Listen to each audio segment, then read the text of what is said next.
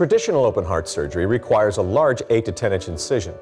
But today, Jewish Hospital is proud to be the first in the area to offer some amazing new options.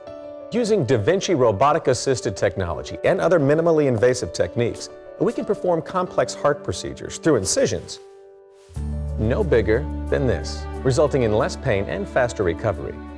We think that's a pretty big deal.